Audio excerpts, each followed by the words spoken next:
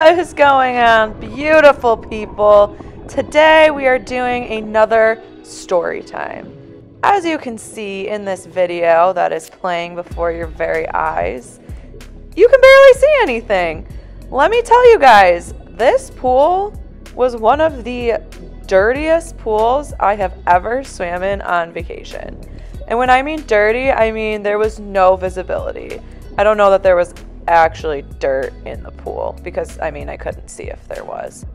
It was really cool though because this was the only pool I've ever been in at a resort that was nine and a half feet deep. So that is deeper than the pool at my house that I dive into. They did not have a diving board, unfortunately, but it was really cool to be able to swim in that deep of a pool. I just wish it was less dirty. It was weird too because there was literally other pools at this resort that were completely clear. So I am not sure what was going on here. They need some help, but I needed to share this with you guys. Thanks for watching.